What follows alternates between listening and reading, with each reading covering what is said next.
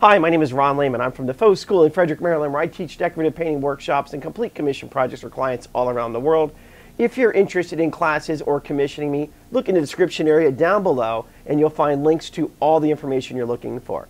You will also find links to all the products, tools, and everything I'm using here today to recreate this finish as you see it here. Today I'm working with Meoded as the manufacturer. The product's called Stucco Lamundo. This is their lime-based gloss plaster Venetian, sometimes referred to as a Grassello. So, before we get started, if you don't mind, go down and hit that subscribe button. You'll get notified when new videos come out. And hit the like button so I know that you like what I'm up to. Now, let's get our tools, let's get our materials, and let's get started.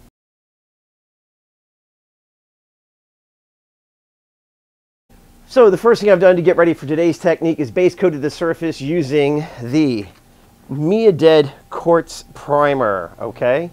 This quartz primer is interior exterior, cleans up with soap and water. And if you so choose, you could tint it with pigment and never paint. I would highly suggest if you have it, if you're gonna add pigment to it, have them do it for you when you call and place your order. I rolled this on using a three in, 3 8 inch nap roller, okay? Uh, the reason for that is we don't want to use a heavy textured roller or a heavy nap. The heavier the nap, the more texture it can leave. And believe it or not, that does make a big deal, especially on these high gloss polished plasters, because we want the smoothest surface we can get to begin with. That being said, after I rolled on the coat of the quartz primer, I did give it a quick sand with 150 grit paper. Okay, now, where are we? The plaster for today is Stucco Lamundo. See that beautiful label? All right. Uh, this is Stucco Lamundo. It's their Venetian plaster. It's all lime based, and it is a traditional polished lime plaster. Okay. Interior, exterior tints with, uh, well, they'll tint it for you. That's the other thing about that. When you call and place your order, uh, they will tint it to any Sherwin-Williams or Benjamin Moore color, which is extremely helpful. They will also ship it to you untinted and you can tint it yourself. Just make sure you're using lime compatible pigments. And that's what I did because for this application, they sent me a bunch of samples. And let me back up. I actually had the pleasure of going out and meeting with uh, the owner and founder of the company, uh, Shlomi, and his son Oren, and spent a couple days out there learning all the product. I should say, products. And by out there, I mean because I'm in Maryland, they're out on the West Coast. And yeah, I got to go out to California for a minute, hang out. Super great guys, and the products are amazing. Okay, so Stucco Lamundo, interior, exterior, cleans up with soap and water, tints with pigment, never paint. They will tint it to match any Sherwin-Williams or Benjamin Moore paint color out there. And let's see, for this we're gonna need our Pavon spatula and trowel. I've tinted this. First particular one, I have a sample to make for a client, and that's what I'm doing. So I thought I'd share it with you. But I've tinted it to look at this. Doesn't that look black? Now, the thing about lime plasters is that when they dry, they don't dry the same as when they're wet. Okay? Just clean off my trowel. It's a little a little dirty. Somebody got a little lazy here earlier today and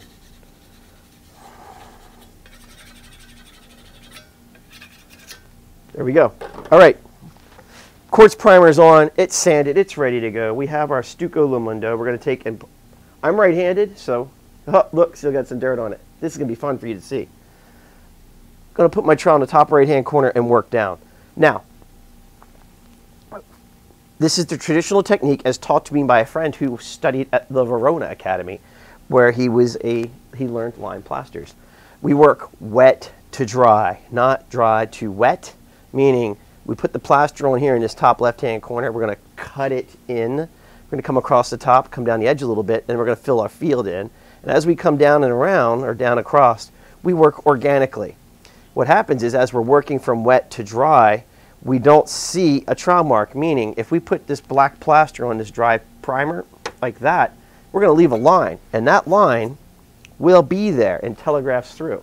And if you've watched anything else I've done on here or taken a class with me, you'll know the foundation is the most important part of the technique or the finish.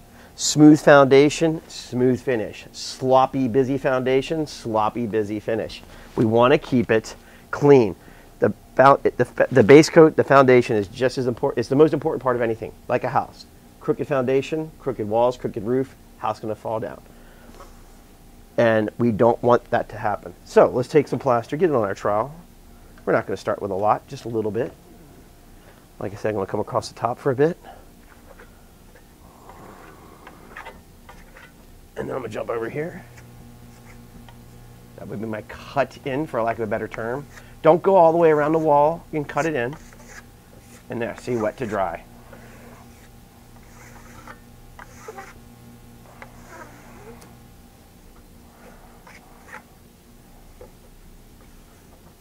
Okay.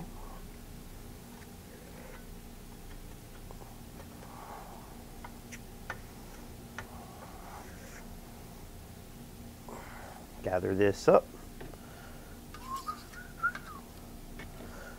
All right, same thing, let's come down here. It's okay if some of the primer is showing through. Don't put it on too thick because it could crack. It's always a possibility. We don't want that to happen. And that happens from drying too quickly or putting product on too thick. All right, let's get a little more here and just quit going. Give it some interest, all right?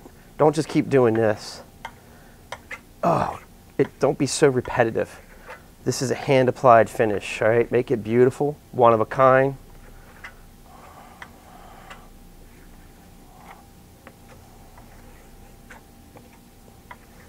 Hundred percent coverage, top to bottom, or I should say ceiling to floor, corner to corner.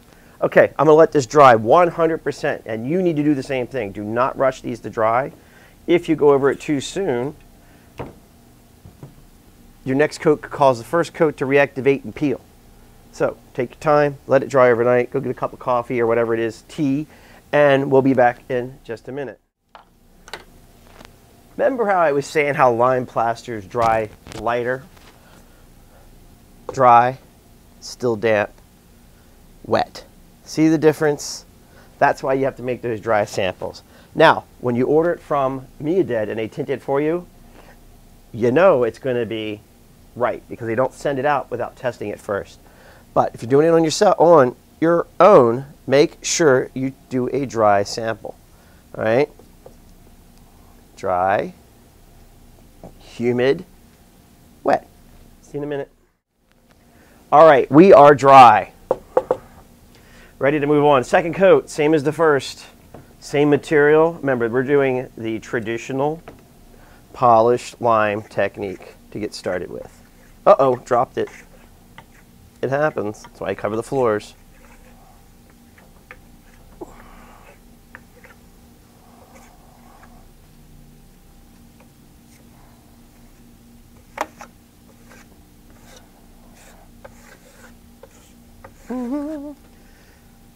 One, can you believe how nicely that covered such a dark color in one coat and now two coats? Look at that.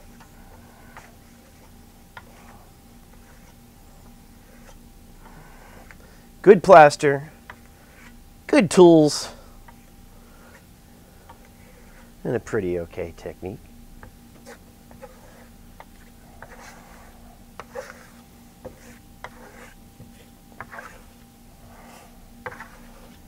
Get you in there like that. And that's all she wrote. Not quite. So we'll let that firm up to burnish it. Now, burnishing. Um, to burn. In ancient times, they would take a torch, heat the plaster up, get in there and press it. Sometimes they would heat the trowel up, get hot trowel, whoosh, go over it. Don't need to really do that a lot. You still can. There's still some damp areas. I know you're going, how in the world did it dry so quickly that I'm ready to burnish it?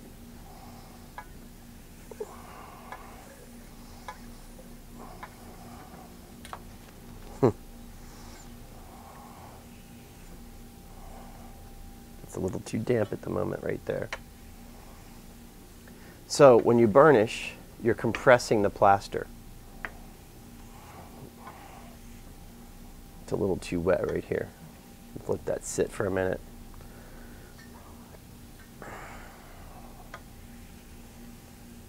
Light pressure. You don't have to murder it. When I see somebody out there and I hear this,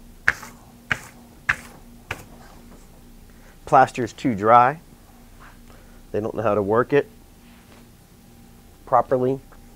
You don't need to crush it. You start putting that kind of pressure on a plaster, you're going to damage it. And I know everybody's like, well, how do you know when to burnish it? It is a dance. This is your partner. You have to be in tune with it. Practice, practice, practice, and practice. Listen, I am not putting a lot of pressure on that. Still a little damp over here. And now I know you're going, well, this is a sample board. Yeah, man, if this is a big wall, and I've got plenty of big walls in my portfolio to back up what I'm saying, big walls are a lot easier. Sample boards are a pain because you want to tend to get in there too quickly.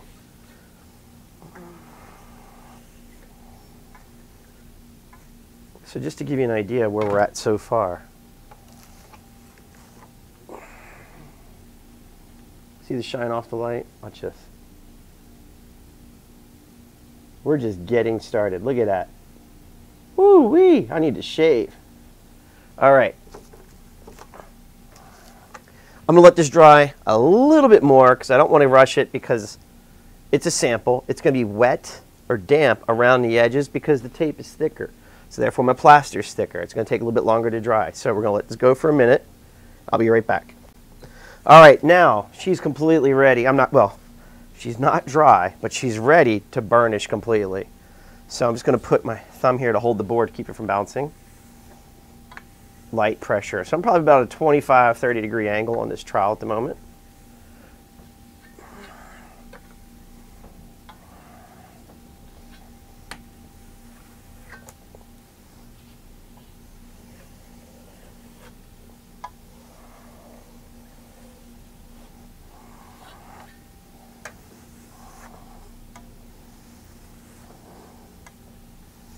To take some.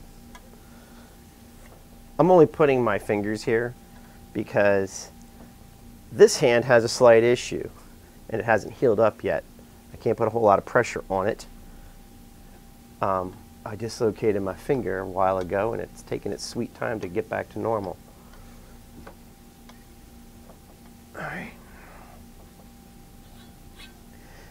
And all I'm doing every so often when you see me wipe my trowel off, it's to make sure that anything I'm grabbing that's loose off the edge doesn't get back in here and damage my plaster.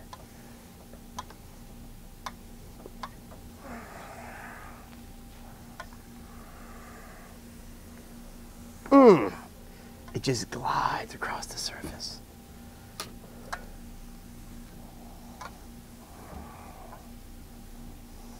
Now, don't let it dry completely. If you let it dry completely, it's going to be hard, next to impossible to get that high gloss, mirror, sheen that you're looking for. Okay? Refer, in Europe, they refer to it when the plaster is in love, meaning when you first put the plaster on, it's wet, it's all sloppy. Ugh, it's like a couple high school kids. Just a mess. when it's dry, it's no longer in love. It's kind of just not talking anymore at the moment. And it's just there. When it's in love, the humid state, 80 to 85% dry. There's still moisture in here. And you can tell that by touching it. It's cold. All right. So let's take a look at what we got here. Stucco Lamundo. All right. Look at that shine. Isn't that pretty? Sorry, I have to look off to the side so I can see what you're seeing. Yes, this one's better. Oh, yeah, look at that. oh, I know. You're like, something's different. I'm wearing an apron. Yes. All right. We're going to let this dry 100%, and I'm going to show you hydro wax. So to wax this, if you so choose, this is water resistant, but it's not stain resistant. So the reason you would put wax on here is to protect it from staining. So if this is a kitchen or a bathroom, I would highly suggest sealing it or a high volume traffic area like a restaurant, common areas, public spaces. Um, it's going to do two things. It's going to protect it from staining and people want to touch it. Two, it's going to give it a higher level of sheen. But it has to be 100% dry. So let this dry overnight, come back, and the other way you can tell is when you walk in the next day, if you touch this and it feels cold, that means there's moisture still in the surface and it's not ready. So therefore, if you touch this and it's cold and you put the wax over top of it, you know what you just did? Sealed the wax, or I'm sorry, the wax seals the moisture inside the plaster and it can turn gray and cloudy. Don't want that. Okay? So we're going to let this dry, come back, wax it. See you in a bit. All right. Our Stucco Lamundo has dried overnight. We know it's dry because we touched it. It's not cold. We're ready to wax it. So the wax. Ugh. You see that pretty label? Hydro Wax. Interior, exterior. I know it comes in quarts, gallons, and I believe it comes in five gallon pails. All right. Nothing's been done to it. Let's how it comes out of the can. See that? It's white and creamy in the bucket. Doesn't mean anything. It's going to dry crystal clear. Fingers crossed, anyway. All right, so I'm going to take a little bit, put on my trowel, and I'm going to trowel it down. Do not put this on too thick. If you do, it can get cloudy because it's going to trap itself, moisture in itself.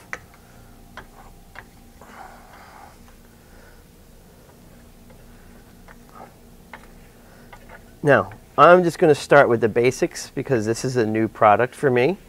And I don't want to get you all confused by telling you what I could do with these waxes, what I could do with the plaster. This is Stucco Mundo in its basic traditional application. Introducing you to it. This is going to be one of those where we're going to crawl, walk, run, and then blast off to the moon. I got a lot of hot product downstairs to play with, and I'm going to show you some really cool stuff. Put the lid back on it. This does need to dry 100% before you can do anything to it. How do you know when it's dry? By the time you finish the wall, come back and you touch it. And if it's not sticky, you know it's dry. Like right here, I can look, I can see it's wet.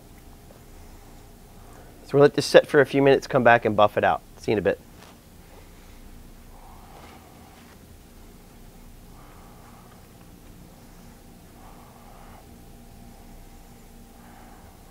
All right, here we go.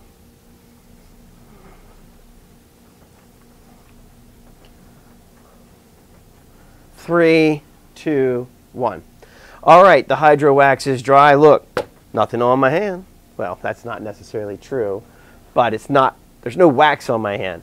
So what I'm going to do now is take a lint-free, color-free rag, and I'm going to fold it. All right, I want a nice smooth edge. I don't want this crinkly part. The crinkly part leaves lines.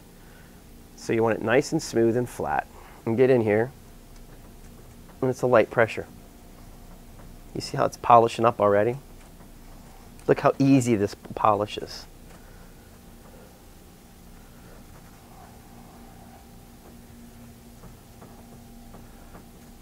You can use a mechanical buffer.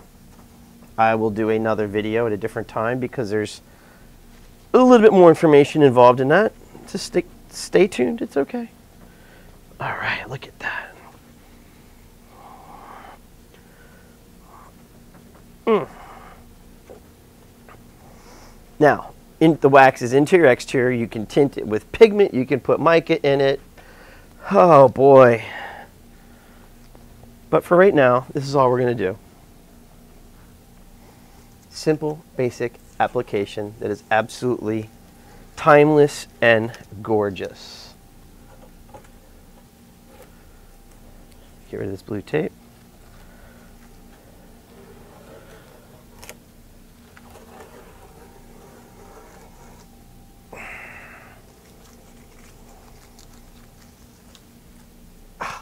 Ah, dirty hands. I never get this dirty on a job. It's always making these samples. It makes a mess. All right. Goodbye, tape.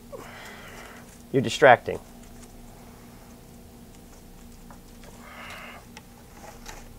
Put you back there for a minute. I'm going to take and do a quick cleanup pass in case any crunchies got on there from pulling that tape off.